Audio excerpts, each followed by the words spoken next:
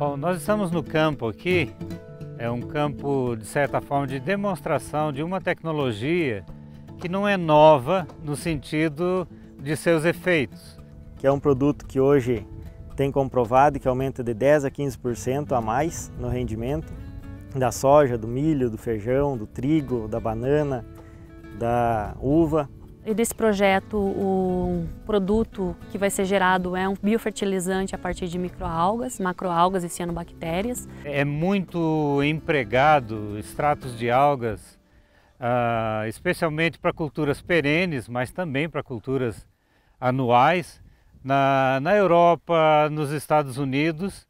E hoje a gente traz esse extrato de alga fora do país.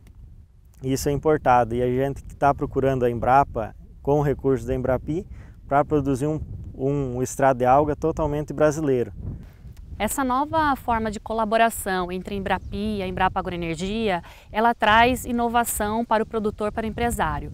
É, é, um aporte financeiro que vem, então, um terço do projeto ele é financiado pela Embrapi, um terço pela Embrapa Agroenergia e um terço pelo empresário. E com isso, então, nós temos produtos que vão ser de acordo com a demanda da empresa. São tecnologias personalizadas de acordo com a demanda do produtor e no final, então, a gente vai ter um produto ou um processo de inovação para essa empresa.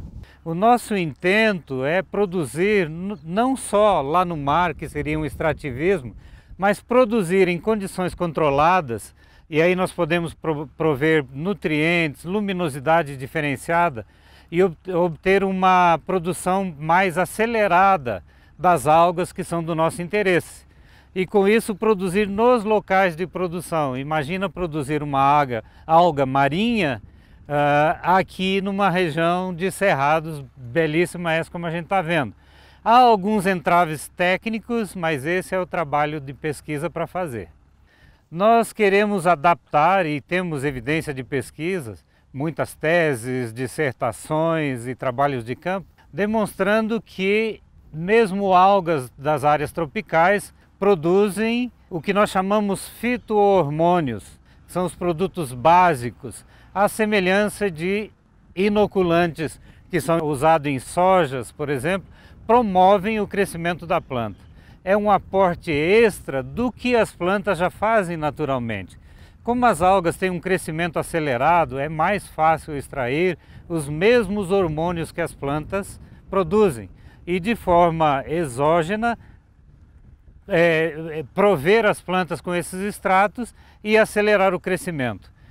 Nós sabemos comprovadamente que o crescimento das raízes é facilitado pela presença dos hormônios de crescimento. Com isso, a planta explora melhor o solo, consegue ter uma sanidade, de certa forma, melhorada e acaba refletindo numa produtividade maior. Estamos no caminho e queremos ver ainda esse campo muito mais verde do que é pela simples aplicação de um que seria na alimentação humana chamaríamos de probiótico.